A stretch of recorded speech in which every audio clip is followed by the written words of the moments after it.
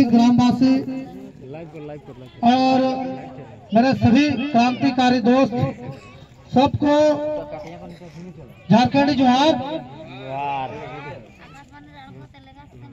आज मुझे बहुत खुशी भी लग रही है कि हमारे बीच एक ऐसे ऐसे हमारे आदिवासी महिला उभर कर आ रहे हैं जो इतनी प्रखरता के साथ सरकार का विरोध कर रहे हैं, ये हमारे लिए सौभाग्य की बात है।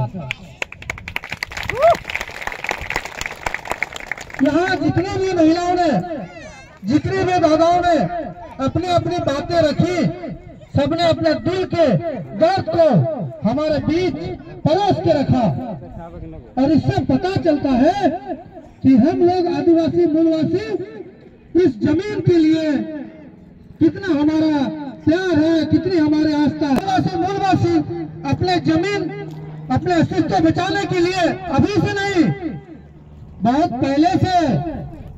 झारखंड में जितने भी आंदोलन हुए हैं, चाहे सत्रह सौ सड़सठ का भाग भूम आंदोलन हो, चाहे चुहार विद्रोह हो, चाहे अठारह सौ इकतीस का कोल विद्रोह हो, अठारह सौ पचपन, छप्पन का संथाल विद्रोह हो विश्व आंदोलन उन्नीस सौ का सभी विद्रोह में